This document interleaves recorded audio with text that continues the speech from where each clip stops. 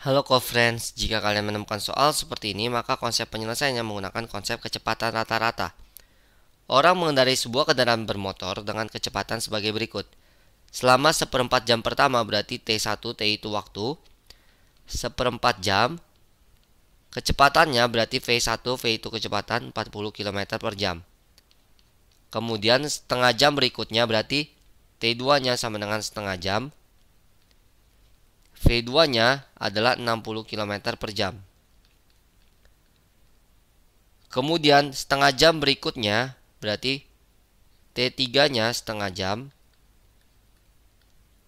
Kemudian V3-nya di sini adalah 50 km per jam. Dan akhirnya seperempat jam berikutnya berarti T4-nya seperempat jam. Di sini V4-nya sama dengan 40 km per jam. Kita cari di sini delta X-nya perpindahan terlebih dahulu. Rumus delta X itu adalah kecepatan V dikali dengan T waktu. Berarti kita cari delta X-nya untuk yang pertama. V dikali dengan T berarti delta X1-nya V1-nya 40 dikali dengan seperempat.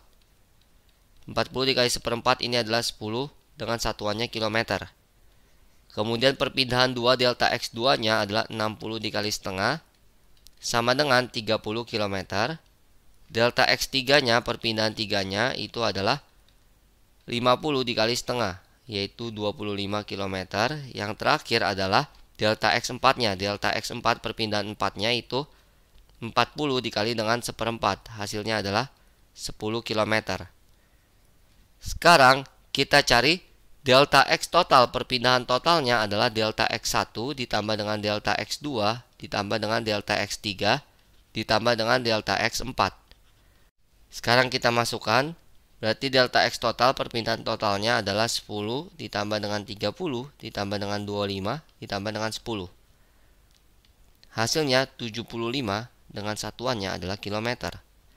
Kita cari delta T total, selang waktu totalnya di sini kita lihat T1-nya ditambah dengan T2, ditambah dengan T3, ditambah dengan T4. T1-nya adalah seperempat, ditambah dengan setengah, ditambah dengan setengah, ditambah dengan seperempat. Hasil penjumlahannya di sini adalah seperempat tambah seperempat itu adalah setengah. Setengah tambah setengah di sini adalah satu.